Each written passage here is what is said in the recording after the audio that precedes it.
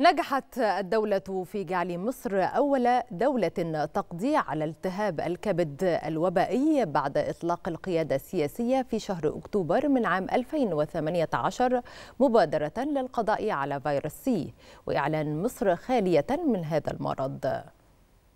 فيروس سي أو الالتهاب الكبد الوبائي مرض صامت تسلل إلى أكباد ملايين المصريين خلال العقود الماضية حتى جاءت مبادرة التي أطلقها الرئيس عبد الفتاح السيسي في شهر أكتوبر من عام 2018 للقضاء على فيروس سي وإعلان مصر خالية من هذا الكابوس. هدف جاء ضمن مبادرة 100 مليون صحة التي تستهدف أيضا الكشف المبكر عن الأمراض غير السارية لعلاج المصابين بفيروس سي بالمجان فخلال أشهر معدودة وبمعدلات غير مسبوقة وضعت الدولة ثلاثة محاور لتنفيذ المبادرة بدءا من القضاء على قوائم الانتظار مرورا بالخطة القومية للمسح الطبي الشامل ووصولا لمكافحة العدوى وخفض معدلات الإصابة لتنجح مهمتها في مسح أكثر من 58 مليون مواطن. والنتيجة رصد نحو مليونين ومئتي ألف مصري متعايش مع الفيروس حتى اكتشفوا الحقيقة المرة ومع انتشار حملات المبادرة المبادرة في كل المحافظات هانت الصدمة وتيسر العلاج. وذلك بعد أن نجحت الدولة في فحص أكثر من 60 مليون شخص